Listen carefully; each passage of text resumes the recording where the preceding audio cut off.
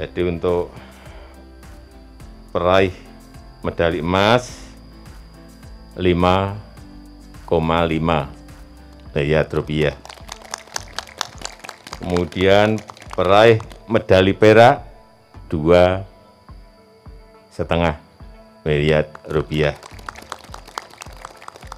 Kemudian peraih medali perunggu satu setengah miliar rupiah.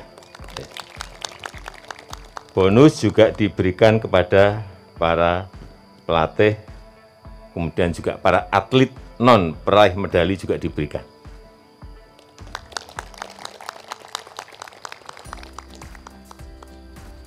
Ya cukup gede tapi nggak usah saya sebut.